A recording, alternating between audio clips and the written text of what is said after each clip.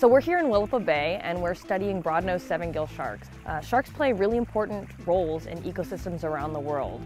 However, very little has been done north of Central California to study sharks' roles in the Pacific Northwest. We're here in Willapa Bay where they show up in the summertime um, and we're looking for them so we can collect samples to determine their foraging ecology as well as their movement.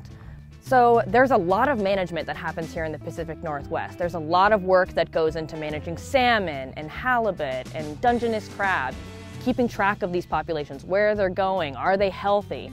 And so sharks play a role in those ecosystems as well.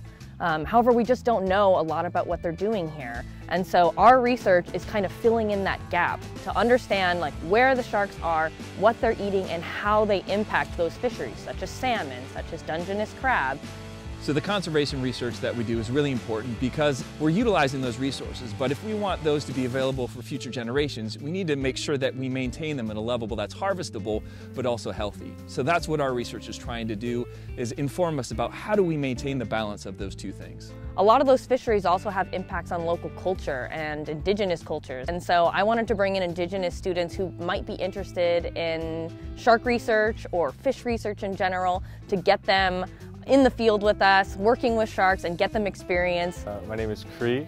I'm a third year at OSU. Uh, I'm from Lummi Nation, which is up in northern Washington. Uh, my name is Jessie Juanita. Uh, my major is Fish and Wildlife, and I'm a third year at Oregon State. Uh, I'm from the Warm Springs tribe. So we have caught here a, uh, a broad-nosed seven-gill shark.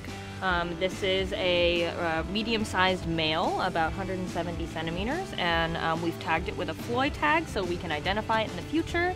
And uh, we've taken muscle and um, fin clips from it, and we've also tagged it with an acoustic tag. So as we release it back into the bay, uh, we can track it over the next 10 years as it moves within the bay and outside of the bay along the Pacific coast.